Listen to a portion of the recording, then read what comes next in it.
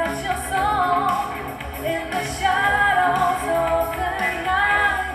Jaworznicki zespół Synth Aesthetics, troszeczkę też wołomińskim, zaprezentował się na scenie Atelier Kultury w koncercie walentynkowym. Działo się oczywiste 14 lutego. Muzycy zagrali utwory z debiutanckiej płyty Breakthrough. Wydaje się, że nic prostszego niż dobrać repertuar do koncertu walentynkowego. Musi być o miłości i basta. Wielkich więc perturbacji w tej materii pewnie nie było. Oczywiście, no, każdy z nas e, podchodzi ambicjonalnie do tematu. E, Generalnie nasza przygoda zaczęła się od e, czystej zabawy i jesteśmy szczerze zdziwieni i dzisiaj do nas dotarło w jakich okolicznościach się znajdujemy i e, jakim zainteresowaniem cieszył się ten koncert.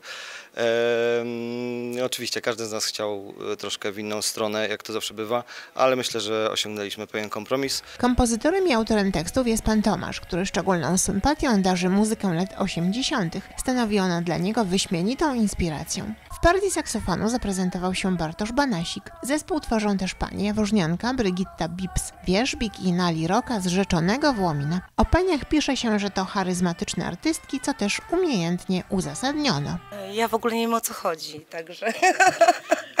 Nie no, e, tutaj Brygida e, doskonale wie o co chodzi. Charyzmatyczna wokalistka to taka, która po prostu potrafi porwać tłum i to dzisiaj dokładnie zrobimy. Publika w doskonałych walentynkowych nastrojach przyjęła artystów gromkimi brawami. Materiał z debiutanckiej płyty zespołu wyraźnie przypadł publice do gustu. Skoro nazwa zespołu jest po angielsku, tak jak tytuł pierwszej płyty i jak teksty piosenek, to można przypuszczać, że muzycy mają ambitne plany zaistnienia na zagranicznym muzycznym rynku. Powód jest bardzo prozaiczny, mianowicie y, nasz język ojczysty jest tak y, wdzięcznym i mm, rozbudowanym językiem, że łatwo jest po prostu popełnić tekst, y, mówiąc brzydko, tani, a że tekściarzem jestem ja, to wolałem nie ryzykować. Jakoś angielski, myślę, więcej przyjmuję.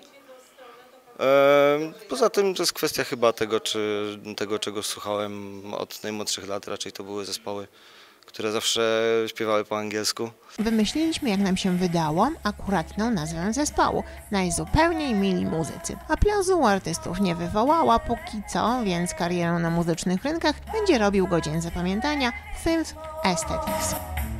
For all